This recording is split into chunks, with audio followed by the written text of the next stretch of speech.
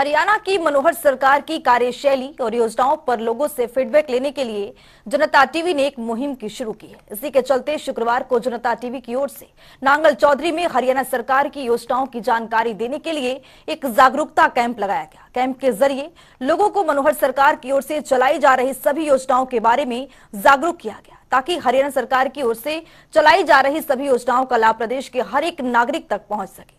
मनोहर सरकार की ओर से योजनाओं पर जनता टीवी की जागरूकता कैंप से जुड़ी देखिए हमारी एक खास रिपोर्ट।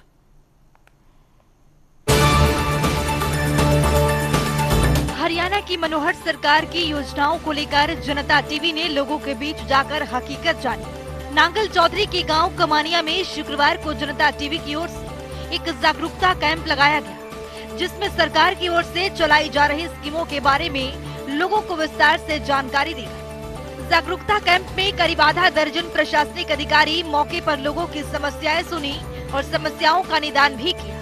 इस अवसर पर सभी विभागों के मुखिया भी मौजूद रहे। और जनता टीवी के इस कार्य की सराहना करते हुए कहा कि सरकार की बहुत सी ऐसी स्कीमें हैं जिनमें आम लोगों को फ़ायदा मिल रहा है, लेकिन वो जानकारी के अभाव में इन स्कीम से दूर रह जाते हैं। कमाने गाँव में कैंप लगा जागरूकता कैंप, इसमें बड़ा अच्छा रहा।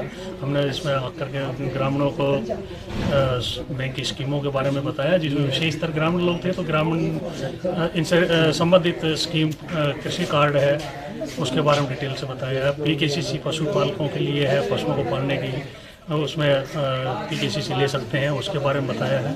और डेयरी के लिए बताया है, जो लोग डेयरी का काम करना चाहते हैं, वो डेयरी ऋण ले सकते हैं बैंक से। जनता टीवी का ये जागरूकता अभियान एक मुहिम है।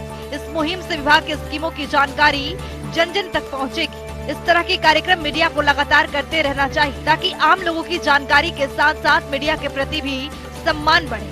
आपको बता दें कि सैकड़ों की संख्या में गरीब किसान मजदूर तबके से संबंधित विभागों से जानकारी भी प्राप्त की। वहीं अधिकारियों ने भी जागरूकता दिखाते हुए लोगों की समस्याओं का मौके पर ही निवारण किया। साथ ही कहा कि अगर किसी कारणवश किसी की कोई समस्या का समाधान नहीं हो पाता है तो किसी भी दिन आकर उनसे मिलकर अपनी समस्याओं का समाधान करवा सकते हैं।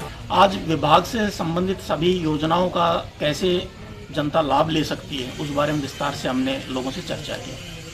और उनकी जो भी जिज्ञासाएँ थी और स्कीम से संबंधित अन्य और भी उनकी कोई इच्छा थी कि भी किस प्रकार से इस स्कीम को हम ले सकते हैं, उनकी सुविधा के हिसाब से तो उस बारे में विस्तार से चर्चा करी और उनकी कोई भी प्रॉब्लम्स थी, उनका भी निवारण आज कैंप में किया। गौरतलब है कि जनता टीवी को जागरूकता कैंप लगाने का मकसद ये था कि हरियाणा सरकार के हर एक योजनाओं से आमजनों को रूबरू करवाया और लोग इन सभी योजनाओं का फ़ायदा उठाएँ। क्योंकि मनोहर सरकार के नेतृत्व में लगातार विकास के लिए कई योजनाएँ चलाई जा रही हैं, ताकि प्रदेश के गरीब और जरूरतमंद आगे बढ़ सके। जनता टीवी के लिए नांगल चौधरी से रामपाल फौजी की